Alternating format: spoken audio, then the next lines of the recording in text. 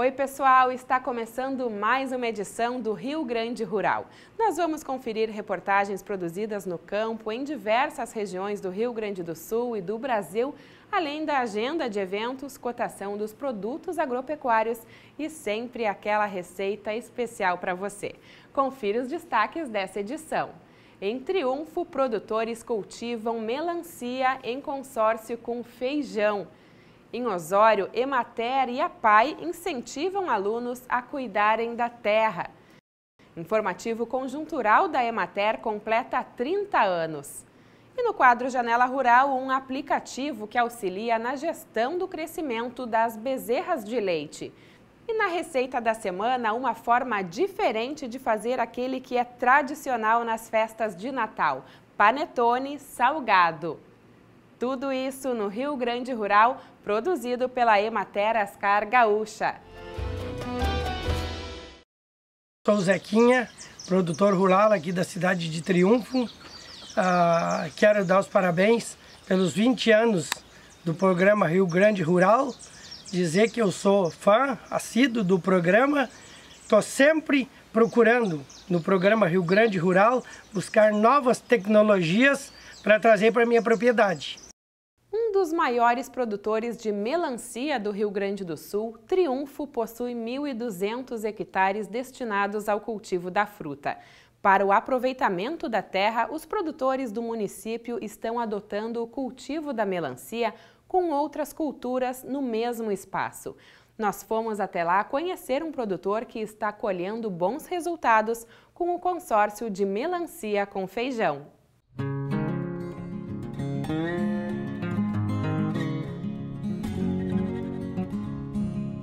Localizado na região metropolitana de Porto Alegre, a 78 quilômetros da capital gaúcha, Triunfo é uma cidade histórica do Rio Grande do Sul.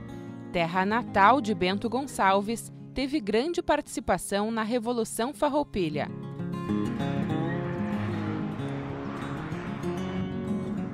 Às margens da rodovia TF10, o produtor Lino Ferreira de Campos, mais conhecido como Zequinha, começou com uma alternativa para o aproveitamento da terra, o consórcio de melancia com feijão. Uma demanda de produzir o feijão para o consumo da família, né? E se fazer o aproveitamento de todo o fertilizante, a, a, preparo do, da terra para melancia, né?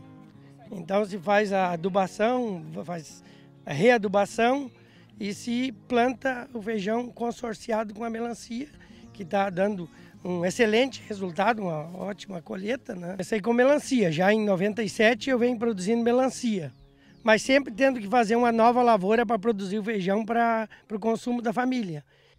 Nos últimos anos, o produtor vem aumentando a produção de feijão no mesmo espaço. No ano passado, foram colhidas três sacas de feijão por hectare. Esse ano, a previsão é colher cinco sacas por hectare. A diferença é que foram colocadas mais plantas entre os pés de melancia. E a ideia para os próximos anos é aumentar ainda mais o número de plantas de feijão. Nos anos anteriores, a produção foi mais baixa, porque se colocou um pé de feijão ah, entre plantas de melancia para não prejudicar a melancia. Como se viu que o desenvolvimento foi bom e a produção muito boa, eu passei a colocar dois pés de feijão entre plantas. Dobrou a produção. E provavelmente o ano que vem eu coloque três pés, que quase que aumentaria 50% mais na próxima safra. Produtividade. Né? Um bom manejo, com um bom manejo da lavoura, nós conseguimos trabalhar produtividade. Então ele tem aqui uma produtividade muito boa. É, quando nós falamos em melancia, por exemplo, a média do estado é 25 toneladas hectare, ele consegue facilmente chegar às 40 toneladas. Porque ele também faz adubação orgânica, ele não faz só adubação química. A adubação química é só um complemento. Ele prepara a área dele já com antecedência, fazendo uma adubação orgânica, e depois ele entra com um pouquinho de adubação química, que é bastante importante. E a meta do, do, do, do Zequinha, né, já temos planejado para o ano que vem, ele, nós vamos fazer uma área de produção orgânica. Alguns testes já foram feitos, deu certo. Então, para o ano a gente vai fazer uma área bem maior, na composição orgânica de melancia. Na propriedade de 60 hectares, o produtor investe na diversificação de culturas. A prioridade da propriedade é a produção de alto consumo. Tanto é que é uma das propriedades mais diversificadas que a gente tem dentro do município. Né? Tem desde a parte de fruticultura, apicultura, bovino de corte, né? e aí vem toda essa parte comercial aí do feijão, da melancia, do melão, do pepino. Então é uma propriedade bastante diversificada e é, e é, e é isso que a, que a, que a Imater tem é, priorizado dentro das propriedades, né? A produção, a, a, o, produtor se preocupar primeiro com a produção de alto consumo e aí depois começar a se preocupar na parte mais comercial. E hoje está se produzindo feijão para o consumo e o excedente eu estou vendendo na tenda. A tenda fica em frente à lavoura. Aqui o produtor comercializa os produtos direto ao consumidor. Vem direto da lavoura, sempre colhido com o maior cuidado possível para não, não machucar a fruta, ah, sempre colhido no, quase sempre no dia, né, com o maior cuidado possível para elas chegar aqui perfeitas. E a renda da sua família é 100% da agricultura familiar? A renda da minha família é 100% da agricultura, não tenho nenhuma outra renda de outra atividade. Já formou três filhas? Formei três filhas na faculdade somente com essa renda da oriunda da agricultura. Orgulho para você. É um grande orgulho.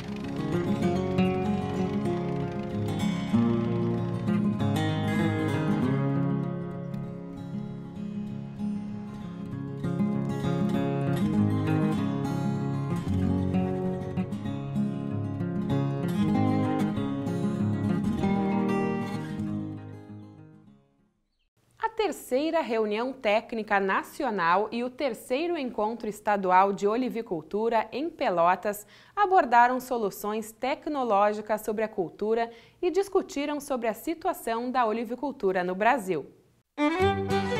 2018 foi um ano especial para a cadeia brasileira de olivicultura.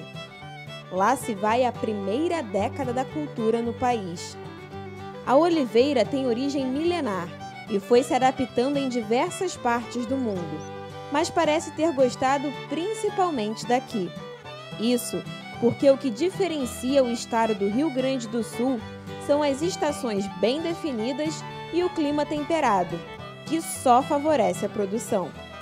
Hoje, são cerca de 4.500 hectares plantados em território gaúcho, uma escala crescente desde o ano de 2006 todos os pomares do Rio Grande do Sul, eles têm uma carga muito boa de azeitonas e eu espero que seja a maior safra dos últimos seis anos. As oliveiras começam a produzir a partir do segundo ou terceiro ano, mas somente aos sete é que atingem o potencial produtivo. Dentre as variedades mais plantadas estão a arbequina e a coroneike, duas das mais indicadas para a extração do azeite de oliva. O Brasil é o segundo maior importador de azeite do mundo, atrás apenas dos Estados Unidos. São cerca de 70 mil toneladas importadas por ano. Existe uma demanda é, já no mercado para a produção desse produto. Temos áreas para plantio e há um interesse muito grande de alguns produtores a entrar é, nesse ramo. Ainda o que nos falta é algumas informações com relação a campo para que isso se concretize com mais facilidade. Apesar de ser uma cultura relativamente nova no país, uma pesquisa feita em 2017 mostrou que há 145 olivicultores atuantes no estado. Mas, como tudo que é novo, a cadeia vai demorar um tempinho até se aperfeiçoar. A gente tem vários desafios. Né? A questão da tipo de solo, adaptação das variedades, tratamentos sanitários, o manejo, né? o vigor da planta aqui no Brasil é diferente de outros países. Então nós temos várias questões tecnológicas. E para tentar resolver esses problemas, existe um grupo técnico, o ProOliva, formado pela Embrapa junto com a Emater e a assistência privada que estuda e faz recomendações aos produtores em relação a diversos aspectos, como nutrição, espaçamento, adubação, poda, polinização e doenças. Como nós temos uma umidade do ar alta e às vezes épocas que chovem, anos que chovem muito, o cuidado com fungos é bastante importante, tratamentos muitas vezes têm que ser necessários preventivos. Na parte de insetos tem a questão de, da traça, da, aliás, a lagarta da oliveira, que aqui na Embrapa né, nós estamos desenvolvendo um trabalho com o pesquisador. E, então são cuidados que o produtor tem que ter como qualquer outra atividade de fruticultura. Durante o evento de olivicultura, 200 produtores e técnicos puderam trocar informações a respeito da produção, com profissionais que pesquisam o assunto e também com quem tem o conhecimento prático. Contaram, inclusive, com presenças internacionais. Falta conhecimento para aplicações nas nossas condições de solo e clima. O que, que a gente busca quando faz essas reuniões? Trazer alguns cases de outros locais onde o pessoal tem é, conseguido bons resultados. Um deles, muito próximo a nós, é o Uruguai. Então, nesse evento, a gente trouxe técnicos do Uruguai que mostraram as condições que eles vêm trabalhando lá.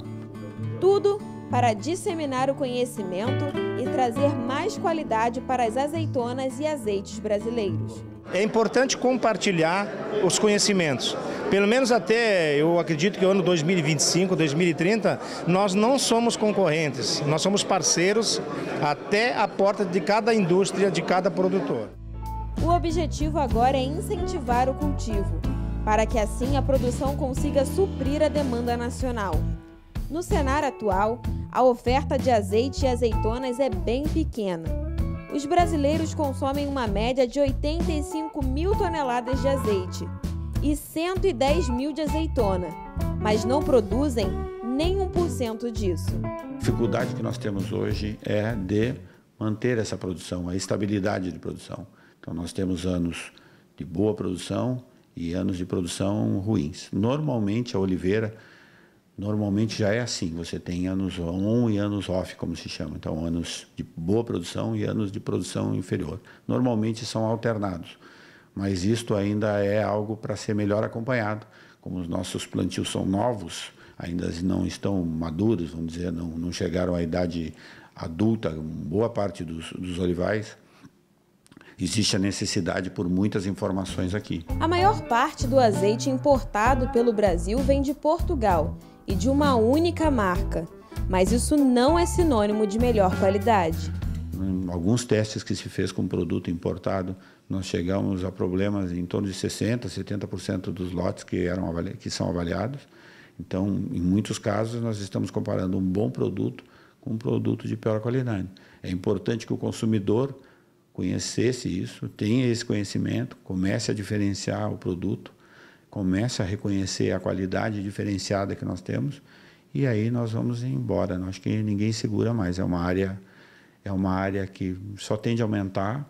O interesse é enorme com relação à a, a, a, implantação de novas áreas e o trabalho tem muito trabalho pela frente.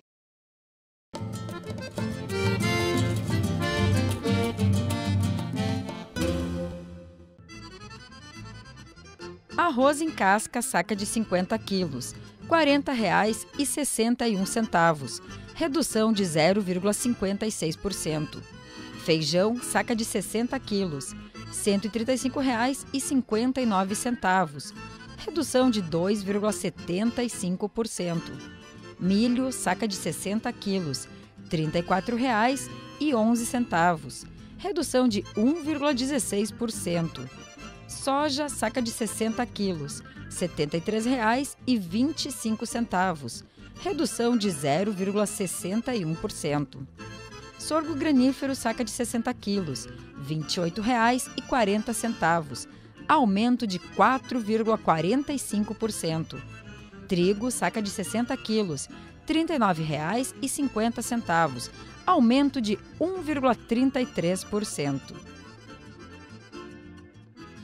Próximo bloco, em Osório, Emater e a PAI incentivam alunos a cuidarem da terra. Informativo conjuntural da Emater completa 30 anos. Nós já voltamos. Música